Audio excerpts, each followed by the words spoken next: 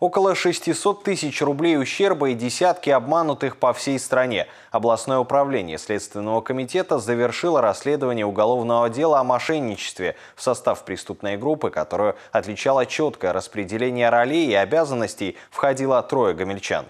Согласно материалам дела, фигуранты, используя бланки, реквизиты и печати, создавали подставные фирмы, которые далее регистрировались на посторонних людей, нередко на лиц без определенного места жительства. На данные общества приобретали продукцию без э, намерений дальнейшего расчета за данную продукцию и реализовывали ее за наличный расчет индивидуальным предпринимателям или же за границу в Российскую Федерацию.